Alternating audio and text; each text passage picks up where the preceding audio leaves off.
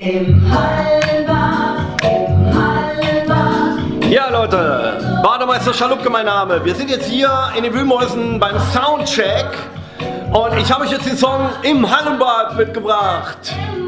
One, two, three. Ja Leute, das war's von mir. Klatschen geht auf 2 und 4. Und fällt's euch schwer wie Blei, geht auch auf die 1 und 3. Der Beckenrand ist mein Revier, gilt nicht nur fürs Pubertier, das gilt auch an sich für Opa Heinrich. Gilt für Summer Kimberly, Amanda Cheyenne, Marie-Sophie und die Helikoptermutti in ihrem SUV.